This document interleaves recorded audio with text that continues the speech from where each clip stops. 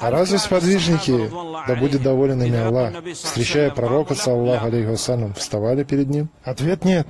Чего же хотят от нас ученые? Чего хочет от тебя ученый? Он хочет, чтобы ты обучался и совершал деяния, и призывал, и терпел, защищал честь ученого, делал дуа за него в его отсутствии. И это то, что он хочет от тебя. Но не обтираться об него, так быть не может.